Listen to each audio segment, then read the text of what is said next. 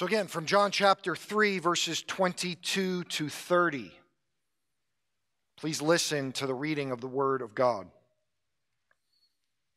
After this, Jesus and his disciples went into the Judean countryside, and he remained there with them and was baptizing. John also was baptizing at Aenon near Salim because water was plentiful there, and people were coming and being baptized for John had not yet been put in prison. Now, a discussion arose between some of John's disciples and a Jew over purification. And they came to John and said to him, Rabbi, he who was with you across the Jordan, to whom you bore witness, look, he is baptizing, and all are going to him. John answered, A person cannot receive even one thing unless it is given him from heaven. You yourselves bear witness, bear me witness that I said, I am not the Christ, but I have been sent before him. The one who has the bride is the bridegroom. The friend of the bridegroom, who stands and hears him, rejoices greatly at the bridegroom's voice. Therefore, this joy of mine is now complete. He must increase, but I must decrease. This is the word of the Lord. He must increase, but I must decrease. Such an amazing verse and so countercultural in a, in a world in where everybody is trying to increase, to increase social media followers, to increase their position in life, to increase their salary and their job, to increase at the expense of others. John tells us one of our life mottos He must increase, Jesus Christ, and I must decrease. As we open our text, we see that Jesus Christ's ministry has begun. In chapter 2, he turns water into wine, kicking this off. He's had conversation with religious leaders as they've questioned him about who he is. He told them, You must be born again. And, and now he and his disciples are doing ministry and people are coming to him. And our text says that he's baptizing. Now, it's interesting because the, the very next chapter in John 4, John the writer will tell us that Jesus actually wasn't baptizing, but his disciples were baptizing. In other words, the works of the group that was with Jesus are attributed to Christ because they're doing it in his name. And so people are coming to Jesus. Our text has an odd comment in verse 24 for John had not yet been put in prison. And why I say it's an odd comment? Because obviously he had not been put in prison because he's still doing ministry. And so people kind of wonder why is that even there? And what most people settle on, and I agree with, is is I think this is another indication that John is aware of the other gospels, Matthew, Mark, and Luke, because at the point when Jesus' ministry begins, John's looks like it ends right there, like it's a clean kind of break. And what I think John the writer is saying here is no, no, there's more that kind of happened. Let me tell you about what happened. The text that we're studying has both narrow and broad implications. There's application here for us about our horizontal relationships, how we view one another in things like comparison and competition, things that are actually crippling in this life. But yet, the, the bigger point, the greater point in this text, is how we are to live in light of who we are to live for. See, the point of this text is how we are to live or view life in light of who we are to live for. And so while there is application that we're going to spend the first third of the sermon talking about this idea of comparison and competition, the greater reality is how we are to view ourselves in this world, and that gives us true identity, purpose, and meaning and joy. Isn't that what we're all searching for? Let's look at three points they're in your worship program. Comparisons, Christ, and contentment. And then there's subpoints there comparison, jealousy over baptism, Christ, Jesus as the bridegroom, and contentment, joy in our purpose. There's a famous quote. Have you heard it? Comparison is the thief of joy. Have you ever heard anybody say that or that anywhere, read it anywhere? Comparison is the thief of joy. Sometimes it's said as the thief of contentment. I looked it up, and most sources attribute it to Teddy Roosevelt, Theodore Roosevelt, president of a hundred years ago or more. But some sources say it was Mark Twain, and other sources say it was C.S. Lewis. And I can't find the actual quote. But evidence goes that this has been sort of a, a the theme of it has been around for hundreds of years. So whoever said it, comparison is the thief of joy, regardless of who said it. Isn't it true? You ever find yourself happy with something in your life, something you have, something that is perfectly fine for what you, and then you see somebody who has one that's better or newer or more valuable, and suddenly you're a little less happy about what it is. A new car is very exciting when you first get it. Then, two years down the road, it's not new anymore. There's nothing wrong with it, it runs fine, there's no problems. And you start to wish you had the later model, the newer model, because your neighbor has it. Comparison. Comparisons come along so often, like around reunion times, like the 10 year reunion, the 20 year reunion from high school or college. Do you ever see what everybody's doing? Does it ever bother you? Like, do you ever not go to your high school reunion because you're afraid that others have done better in life or your life's a mess? You compare things. This happens to adults, it happens to kids. It's prom season. Young ladies are comparing dresses. It's college acceptance season. Most kids maybe know where they're going at this point, but some don't get into the schools they wanted to get into. And so you ask them, like, like, where, you, like where are you going? Are you excited? And, and they kind of like say it with some self deprecation because they didn't get in where their friends got in. Comparison. It robs of joy. And in that, there's, there's competition. Why do you think that is? Why does, and, and really it leads to jealousy, right? Jealousy. Why do we do these comparisons and why do we get jealous? So if you have a car that is good and perfectly great and your neighbor has a more expensive or better or flashier one, why does that make somebody jealous of them? Maybe it's not a car, maybe it's a house. Maybe you just go into your friend's house and you walk in and there's this jealousy because they have nicer things, it's updated, yours isn't. What is it about jealousy? Why, why is that a part of human nature? Fallen human nature. At its core, it's because we think our life has meaning and purpose by things. And things can be actual things or ideas or things. So our accomplishments, our possessions, our position give us value in our mind. And if we see others have more or are better in those things, we think that makes us less. It's not just an issue of unbelief.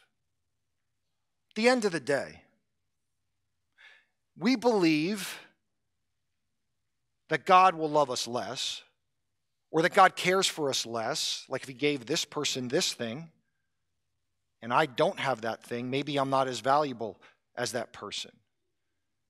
It's unbelief. And yet, like I said, we see that it is just inherent in human nature. You know, isn't it almost like Eve in the garden, and there's always to look at her eating that fruit, but but one lens to look at it through is she thought she was entitled to that. Why couldn't she have it? The very next story, the, the Cain and Abel story, Cain makes a sacrifice and Abel makes a sacrifice. Abel's is pleasing to God and Cain's isn't. We understand in that God's not arbitrary. There, there's something in their hearts in those sacrifices and what was going on that, and God calls Cain out on it. And what does Cain do rather than repent? He kills his brother because of jealousy, comparison, competition. Joseph's brothers throw him in a pit because of jealousy. Their father loved him more he got more of the blessings and the benefits. We see that's what's going on in our text as you look at it, right? Verse 25, a discussion arose between some of John's disciples and, Jew, and a Jew over purification, whoever that was. And so then they ask John about Jesus baptizing. So clearly, you have like competing baptism ministries. And maybe this Jew is really curious, maybe he's just trying to cause trouble. Typically, when John's gospel uses the word Jew, it's really referring to like the religious leaders. And so saying, hey, uh, John's baptizing, but I noticed that guy Jesus over there, he's getting bigger crowds and he's baptizing. So it causes jealousy immediately, right? I mean, you see that. He who was with you in the Jordan, to whom you bore witness, look, he is baptizing, and all are going to him. All. Now they're still baptizing, so clearly not all are, you know, it's like it's like when your kids come to you and said, Everybody's doing this. And you're like, Well, is it everybody? Everybody, all. They're jealous.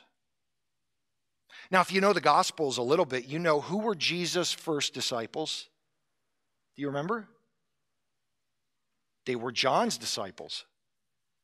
In other words, John has disciples, and some have left John. John even said, Look, there's the Lamb of God who takes away the sins of the world. Go after him. And, and they go and they follow Jesus. And so now they're doing what they did with John, but they're doing it with Jesus. But then there's this devoted group who stayed with John. Do you see how there could be jealousy there?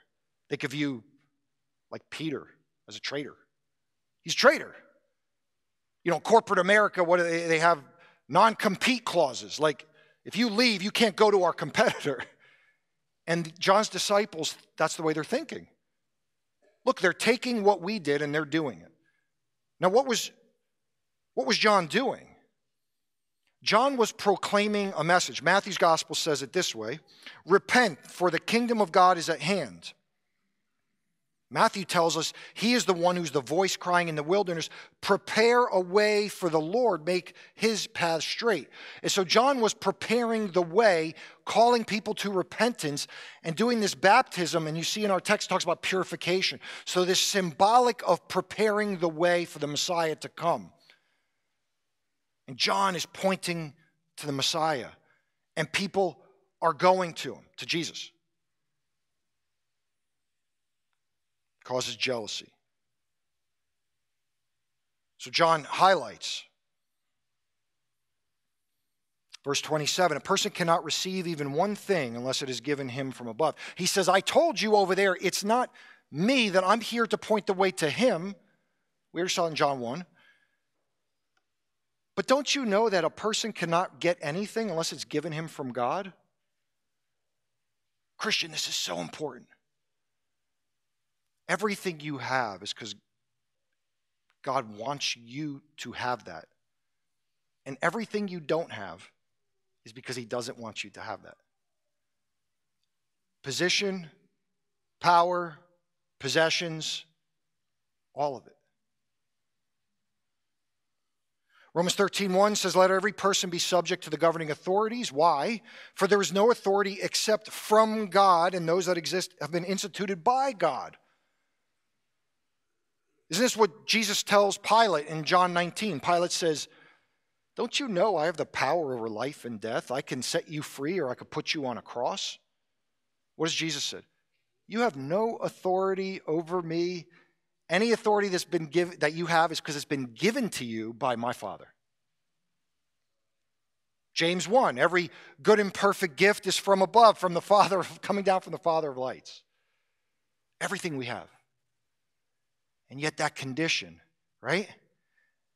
Now, these followers of, of John, and then the ones that are baptizing with Jesus that were followers with John, of John, do you know that they did the same thing when they were with Jesus?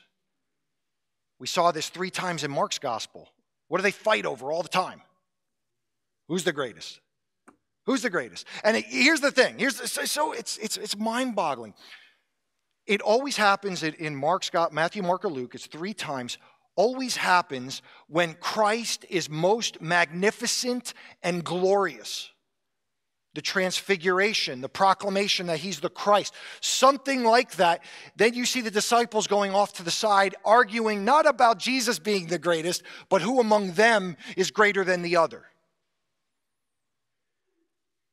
Rather than be focused and fixated on the beauty and the glory and the majesty of Jesus Christ, God in the flesh among them, they, they see he's going to have power who of us is going to be next?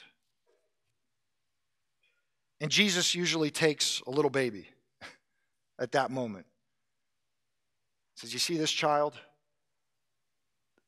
You have to enter the kingdom of heaven like this child. This child is greater than all. Why? Because the child has nothing to offer except love. love and need. The baby needs.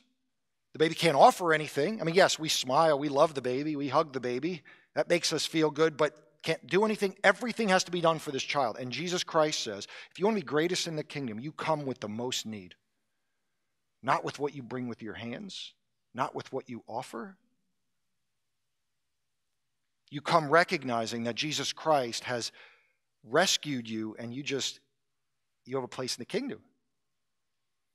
Now, here's the thing notice this it's not a matter of ability. It's not a matter of ability. Jesus Christ says in Matthew's gospel that a greater man has not walked the earth than John the Baptist.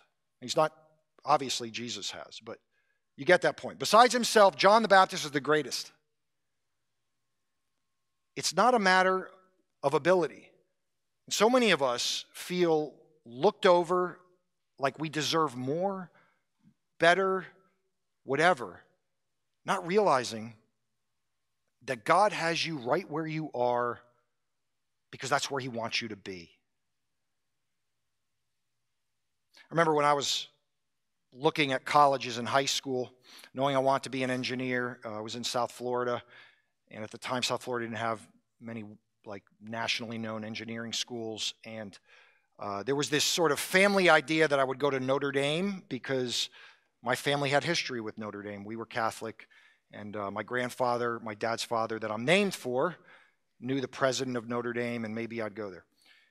Uh, so I applied to Notre Dame, but I didn't tell them who. I didn't tell them of the connection, and they only accept less than 10% of the applicants. and I didn't get in.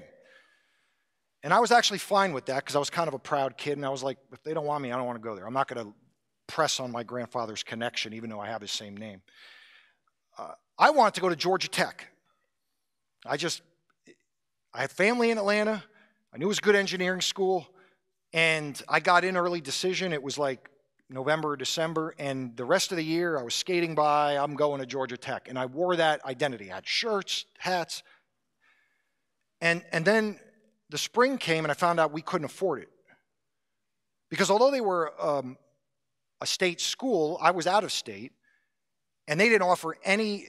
This is in the 90s. I don't know if anything's changed. They didn't offer any financial aid to out of state people. They just couldn't afford it.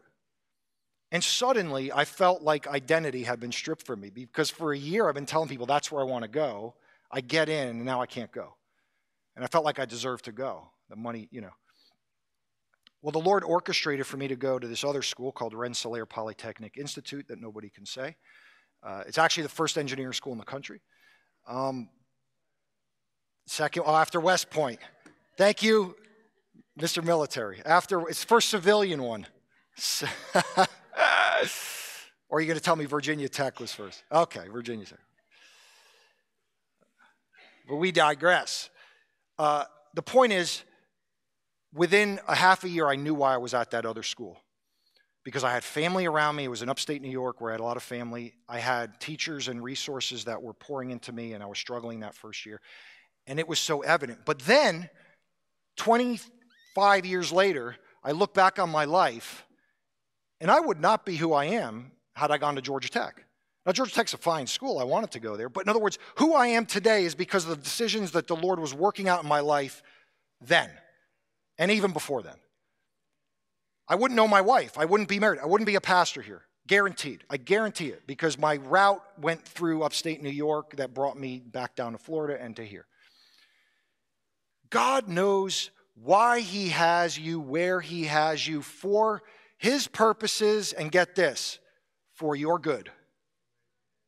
All things work together for good for those who love God and are called according to His purposes. His purposes and your good are aligned. And so every time we are uncontent or compare sinfully, I don't think all comparisons are sinful, by the way. Sometimes it's good. You could see what you can achieve, and you can, and then you, comparisons aren't necessarily bad. It helps you to be better. But all sinful comparisons, all jealousy, all that kind of stuff is, is, is a sin against the God who has given you all things for your good. You're taking the gifts that He gives you. I'm taking the gifts that He gives us and saying, I wish I had that instead of this. And yet He's making us who He wants us to be through that.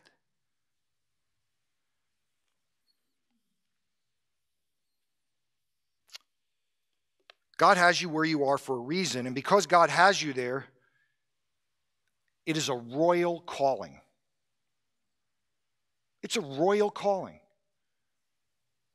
You know, when I again, when I was an engineer, and I know there's engineers here and there's doctors here and lawyers here, and so we have professions, you know, that people tend to look up to. But when I left that and had no plan, except I thought I might become a teacher, but I knew I had to get certified, I knew I had to take classes, I knew there was work to be done. Some people were like, Yeah, live your dream, stick it to the man, get out of the rat race. Other people looked at me and said, What are you, crazy? Don't you see what we have? Comparison. Now, I've been a boss, I've been an employee, I've been a number one, I've been a number two. I've done menial jobs, I've done what society considers to be great jobs. I've been in authority and I've been under authority. Do we think that our worth and value has anything to do with any of that? The world thinks that. But Jesus says what? He says, if you want to be greatest in the kingdom, be the least. And do you know there's millions of unsung heroes that you'll never know their names? And all the people in lights and are popular and in the media, and so often their lives are a wreck and debaucherous, and we, we know their accomplishments. And so I was thinking again of the Covenant school shooting about a couple weeks ago, a month ago, maybe, I don't know. And, you know, all the focus on, again, the pastor, it's PCA pastor, so that hits close to home, and then his nine year old daughter who was killed, right? But it was occurring to me right from the beginning, like, that's where all the attention is going. But a number of people died. And I was just amazed at the story of, let me see, I wrote his name down somewhere because I forgot. Mike Hill. 61 year old Mike Hill. You heard that name? He's the custodian of the school. He's a grandfather. He worked at the school for many years. And people who loved him, because he's a custodian in a private school, don't make the most of money. They ran a little GoFundMe campaign to help his family pay for medical costs. And I think they wanted like 20 grand or 40 grand. I mean, he's, nobody knows who he is. He's not the pastor in the PCA that's kind of out front.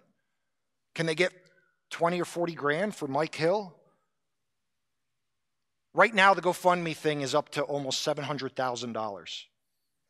And all the comments are all the students that came through that school that Mr. Mike or Big Mike poured into as the custodian of the school. And his reward is great in heaven right now. Right now. But not because of what he did, but because of what Jesus did for him. And he just, whatever you do, whether you eat or drink, do all to the glory of God. Colossians uh, 3, or that's 1 Corinthians. Colossians 3 is whatever you do, work heartily as for the Lord and not for men, knowing that from the Lord you will receive the inheritance as your reward. You are serving the Lord Jesus Christ. So John the Baptist says, I am not the Christ. The Christ is the Messiah, the King, the one who will fix all things. He points to Jesus as the bridegroom. In our terms, is the groom. He's the groom.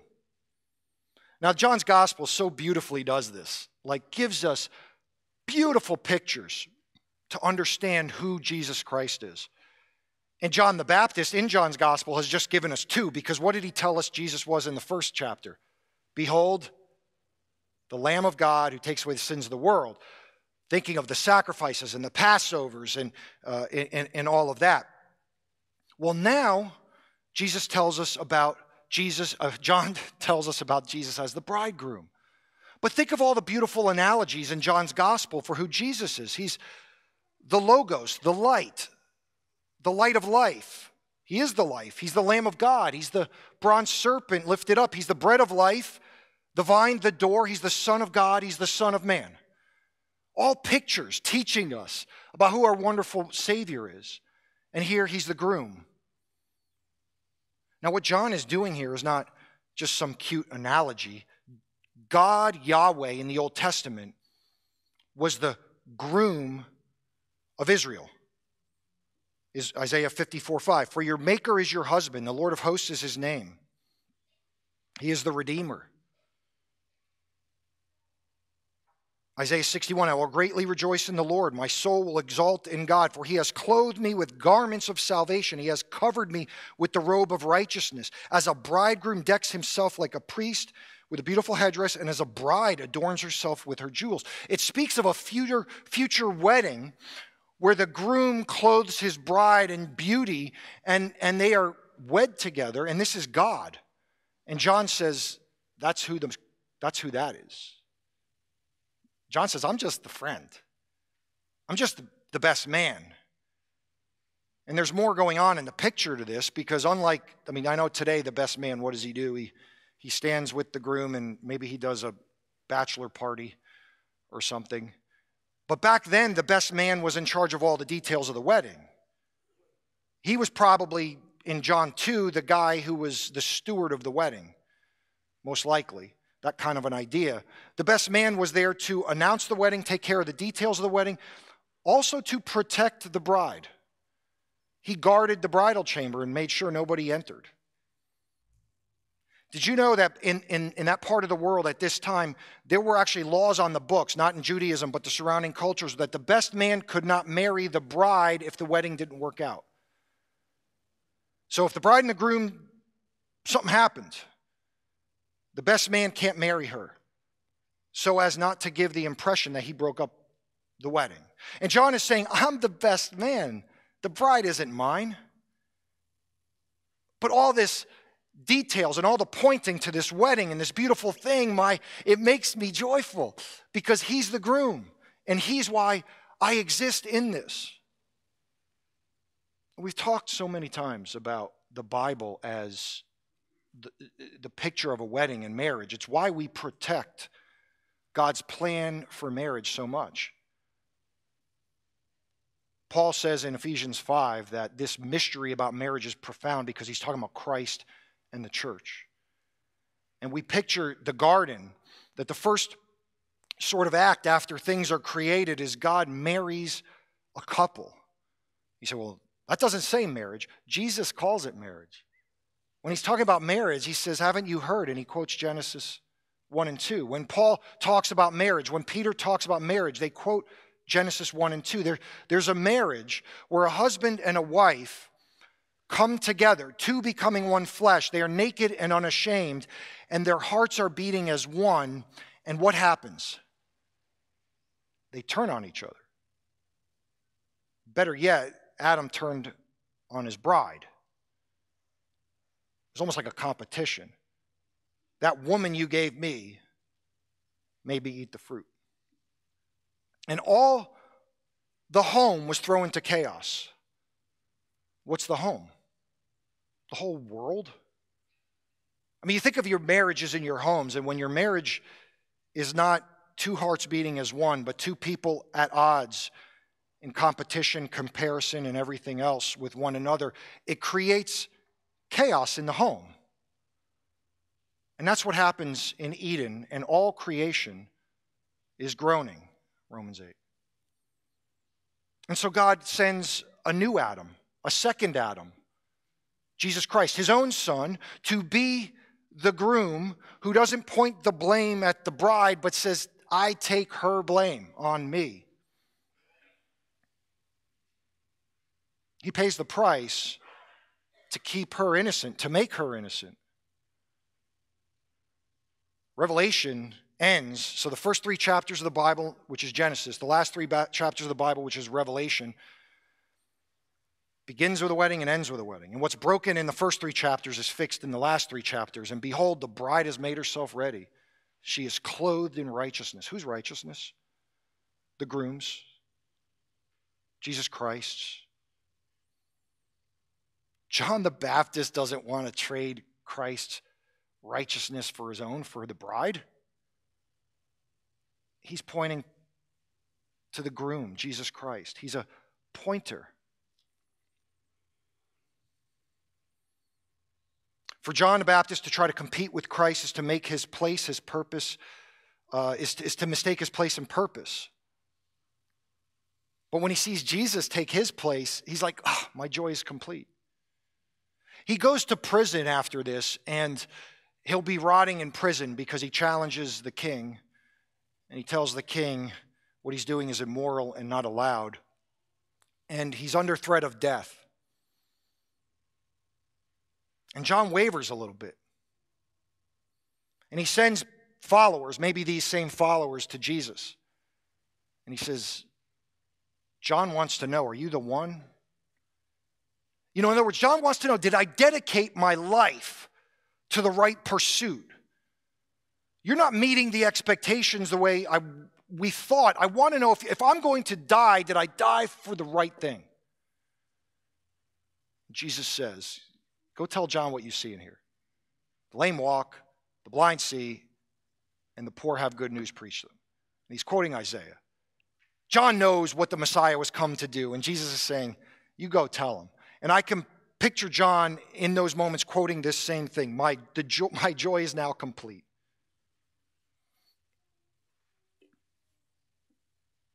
Because he's pointing to Christ. Now, John's purpose is actually our purpose. Now, John's purpose is our purpose. Like, John had a, a purpose, and, and it played out uniquely in John's life, but his purpose is our purpose to point to Jesus. That is your purpose. That is what you are made for. Westminster Shorter Catechism 1. What is, the, what is your purpose? What is the chief end of man? To glorify God and enjoy Him forever. And we see how the two fit together. Our world is reeling because people think they are pursuing their purposes, but they're not pursuing the purpose of the one who made them, who knows their purpose.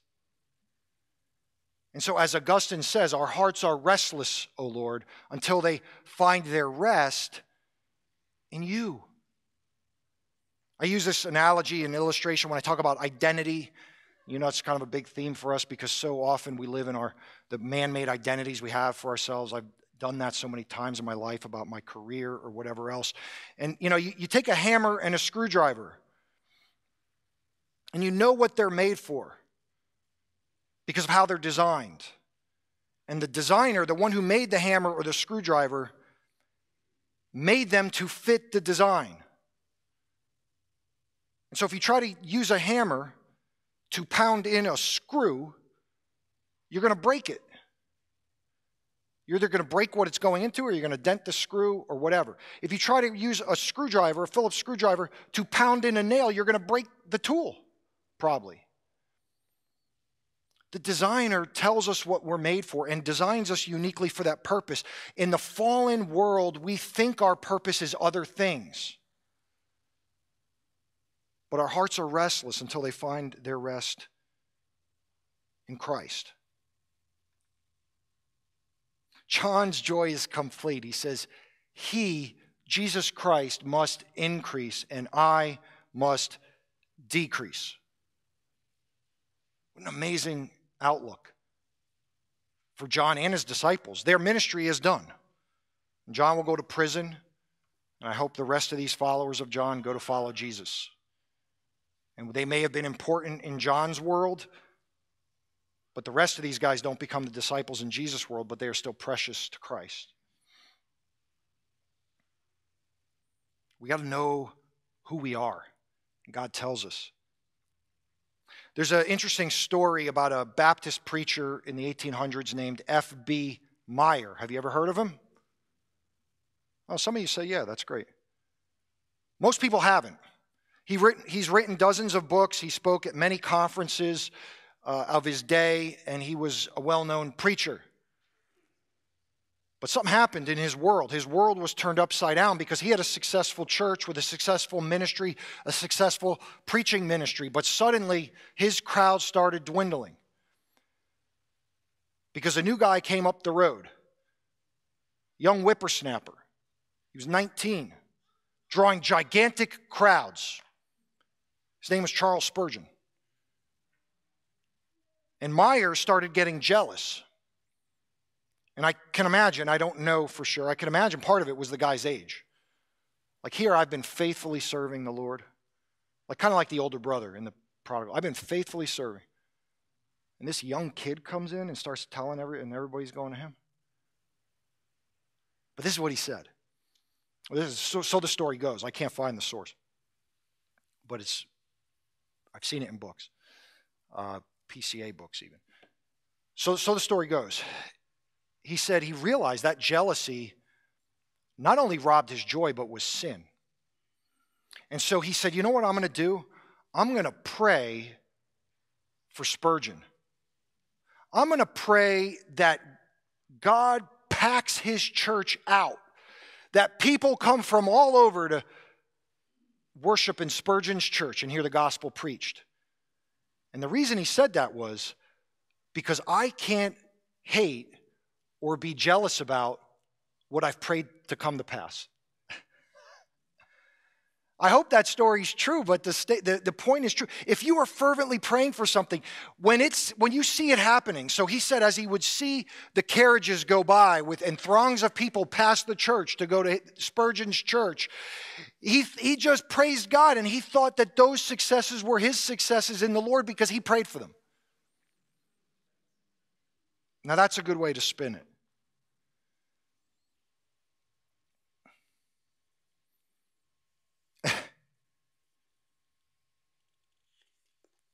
There's two songs that I really love, and the, the, the, sad thing is, I think they're competing with each other. One is a song by Nicole Nordeman uh, called Legacy, and it's a pop song. I'm not saying it's a song to sing during worship or whatever. But you know that song? It starts off talking about like the, the, the things you value in the world, and then she says this I want to leave a legacy. How will they remember me? Did I choose to love? Did I point to you, obviously Christ, enough?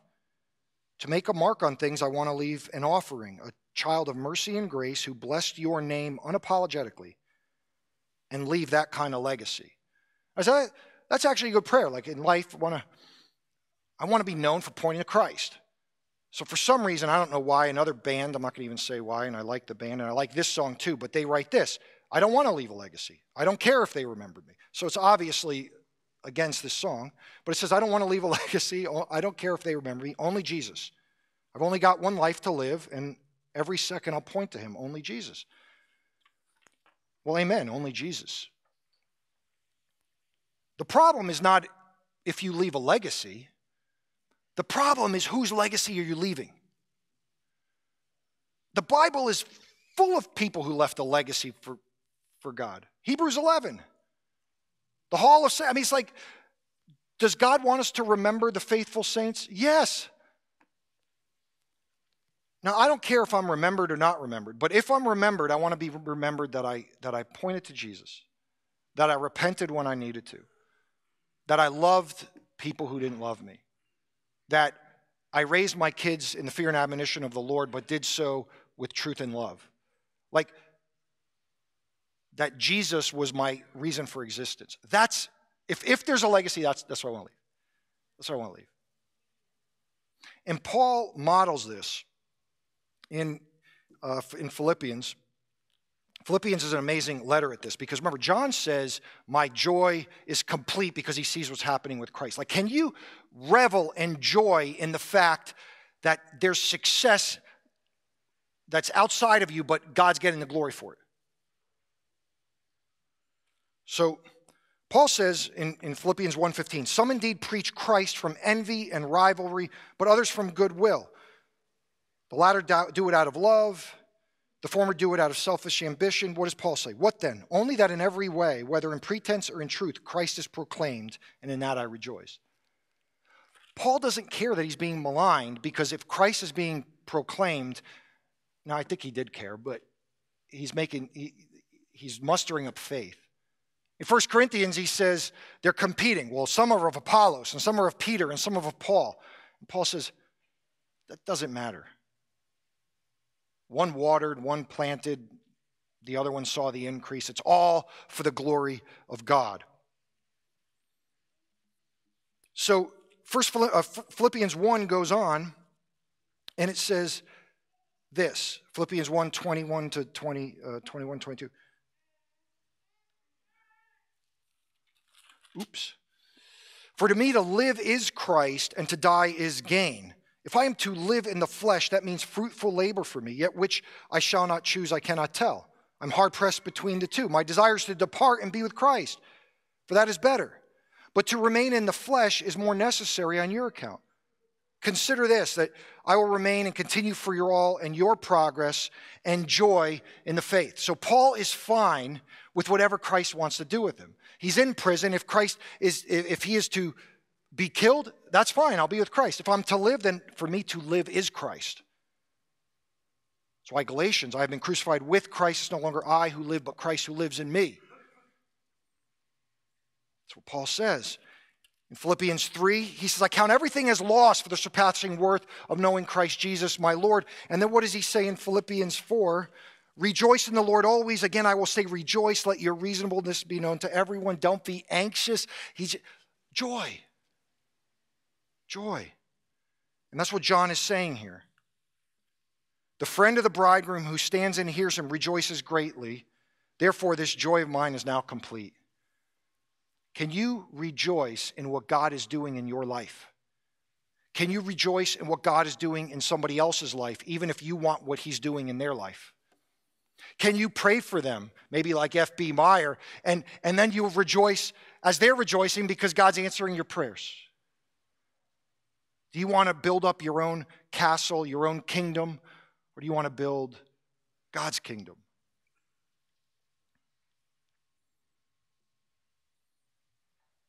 There's a quote that's attributed to Meyer. What's funny about that is I told you about the whole Spurgeon Meyer thing. I, I, can't find Meyer saying it anywhere, but I found it in Spurgeon's sermon, so go figure. Maybe Spurgeon stole it from him, or maybe everybody's wrong.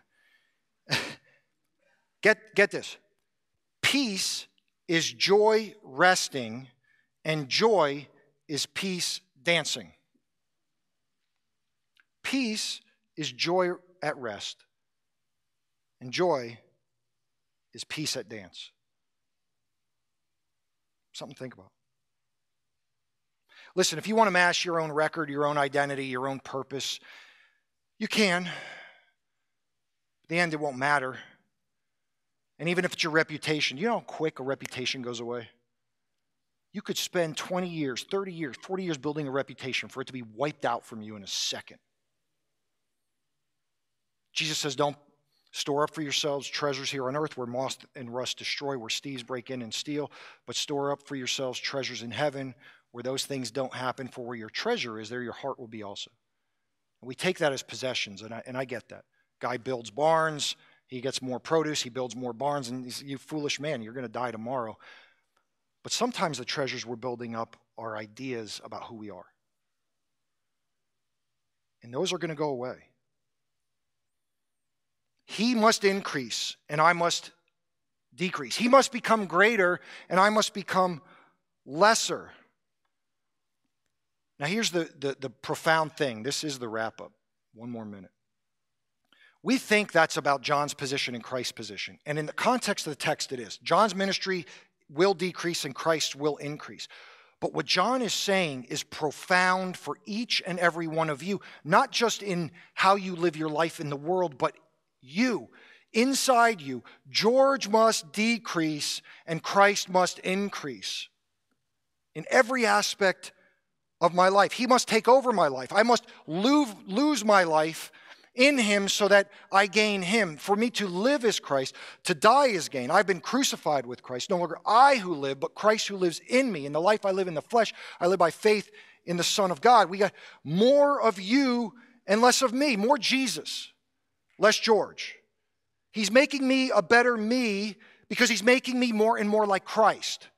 He must increase and we must decrease. Let's pray.